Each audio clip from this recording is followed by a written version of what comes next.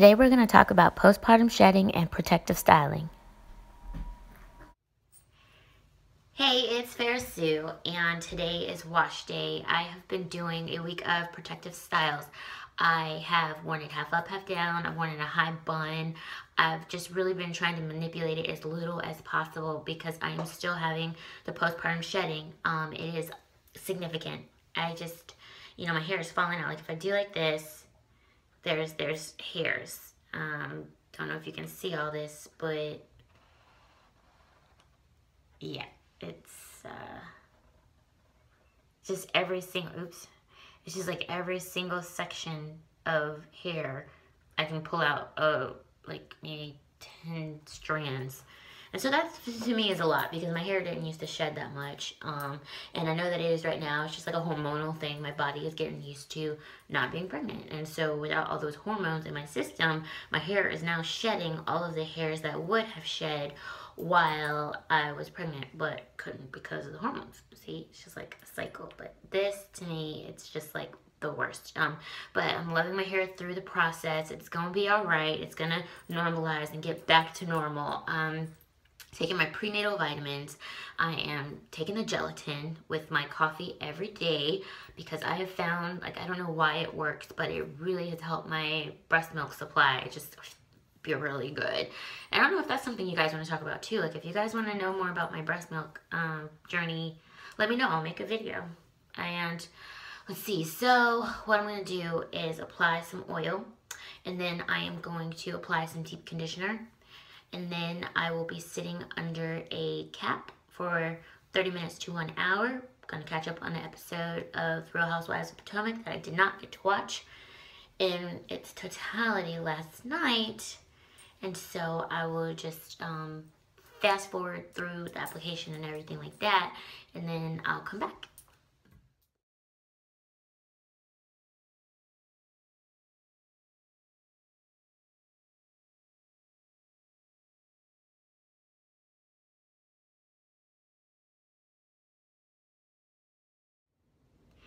Okay, so the deep conditioner that I've been using is the Mega Moisture Nature's Therapy by L'Oreal. This is actually the second tub that I've purchased of this. I don't like to recommend things until I know how my scalp is going to react to it, how my hair reacts to it and because of um, postpartum shedding and everything like that it was just a lot going on so um, I have been using this every week and I absolutely love it um, think it was pretty affordable. Can't remember how much I paid for it, but I would buy it all over again. So what I did was um, I applied the emu oil to my scalp. And then what I'm doing is I'm going to wet my hair because um, you want the conditioner to get into the hairs. And so I'm wetting it and then I'm going to apply the conditioner. And then with the heat from the heat cap, it's gonna help it absorb into my hair. And I can just feel, you know, the oil and the conditioner that's on my hands from what I did on this side. It's helping um, melt those tangles out. It's helping to get rid of the shed hairs because that's the bad thing. Like shed hairs attract shed hairs, kind of like split ends make split ends. So what you gotta do is detangle. And so um, I just have to make the time to detangle my hair and get these tangles out because if not, it's just gonna make the matter worse. And so on top of the regular shedding that I would normally have, plus the postpartum shedding, you know, you can make your hair shed more. You can do things or the lack of actions as well can cause damage. So not detangling your hair can make detangling harder, can make it worse, can make you lose more hair. So just detangle. All right, so I'm just applying this to my hairs. I don't believe in putting conditioner at the scalp because I just don't think it belongs there. To me, conditioner belongs on the hair length and oils belong on the scalp. That is my opinion. I can't say it's a fact, but that's what has really worked for me. And my hair absolutely loves this method. So I'm just not even being shy. I'm just going in getting like tons of this conditioner because, I mean, you know, when you see your hair coming out in clumps, you know, you want to just give it every opportunity to be healthy. And if you look at the palms of my hands, you can see the shed hairs just coming down. All right, so I've got it applied. And so now what I'm gonna do is put on a plastic cap and get underneath my heat cap. Okay, so I'm up under this cap. I got an episode of The Real Housewives of Potomac going on. And I will be up under here for a while, and then I will join you after. Okay, so I'm back, and my hair is nice and warm, and it is nice and conditioned. And oh man, can already see like the curls are just so happy. And that moisturizing treatment was so, so, so, so what my hair needed right now.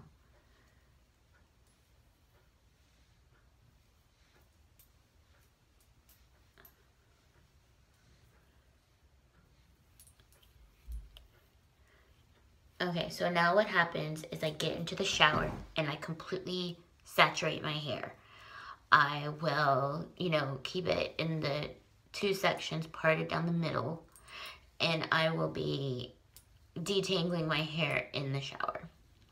I'm going to be using my fingers for the most part and allowing, you know, the product that's already on it to do the work that it needs to do. And then also, um, depending on how my hair feels after I do the moisturizing treatment, I plan on doing the keratin uh, two minute constructor by ApHogee. Um, but, you know, I'm not going to say I'm going to do that. I have to wait and see how my hair feels after it gets um, rinsed out with the moisture. And I will do this based on if my hair feels like squishy or mushy because you never want your hair to feel squishy or mushy or crunchy because that means you need to do a moisture and protein to balance it out. Um, if it's crunchy, moisture. If it's mushy, protein. So if my hair feels mushy, then I will go to the next step and do this two minute reconstructor. But if not, then I'll just keep it moving and get out and come back for styling. Yay, okay. So I didn't overwork my hair while I was in the shower. I simply got in, rinsed it out, I shampooed, and then I applied um, some conditioner, and then I got out. Like, it was really fast. And I didn't, like I said, overwork my hair because I don't want to mechanically shed with a brush or comb or, you know, anything like that, more hair. So um, this is all that was shed this time, yay. And compared to what I had been shedding, it's just nuts. And then it is shedding and not breakage because I can see the white bulbs in each of the hairs that was shed. So it's getting better, okay? That's the most important thing is that the situation is improving. And now we're gonna move on to styling. I don't really know what I'm gonna do with it, but sometimes I just like let my hands start working and the style just comes up. So um, I'm gonna speed this up because I don't want this video to be like ridiculous amounts of long for no reason. And, um, all right, so, oh, real quick, I've been using this It's a 10 leave-in, so that's probably why I didn't need to do the protein treatment because this has keratin in it, and keratin is protein, and, you know, so that's why I think my hair wasn't mushy once I got into the shower and rinsed out the moisturizing conditioner. All right, so um, I've been using this and of course my Liquid Sunshine. And that's pretty much all I'm going to be using to do this style because I don't want um, products in my hair right now. I just need my scalp to just like relax, relate, release and get to its happy place and keep uh, shedding less hairs. All right, so I'm going to speed this up and I'll join you in a few.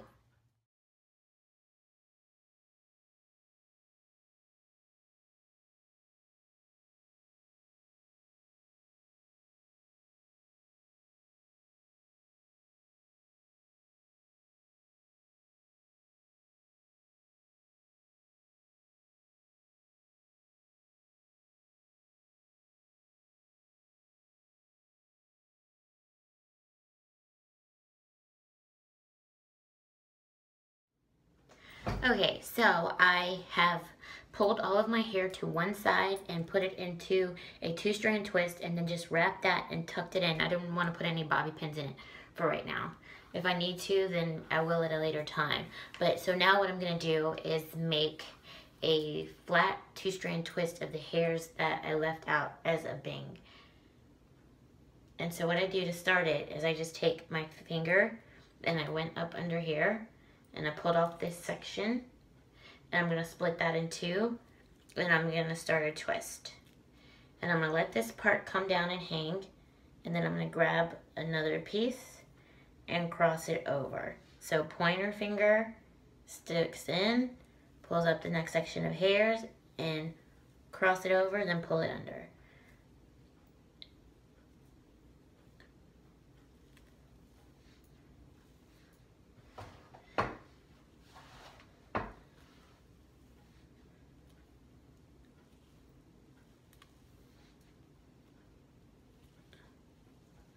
It's kind of one of those things I had to practice to get pretty good at. But now that I've done it, it's it's like so easy to me. And then you end up with a really decent looking flat twist. And then I'll just continue this. And it's so nice that this is the results of doing the inversion method that my bangs now, they're so much longer and easier to manage. Um, and tuck back and, you know, put away for the week like I want to this week. So I'm also going to just take this and wrap it around the bun and just tuck it underneath of the um, ponytail holder. I really just don't want to put any bobby pins in it right now. Okay, so this to me is a job well done.